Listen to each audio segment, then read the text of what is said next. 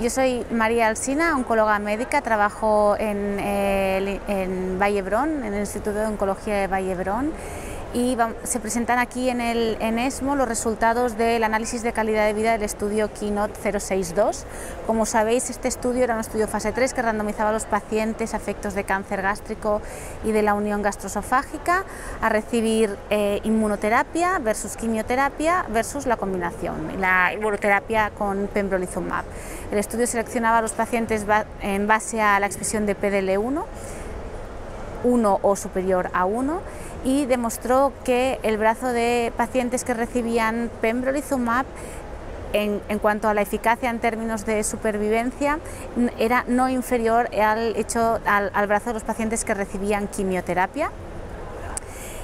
eh, y esta ganancia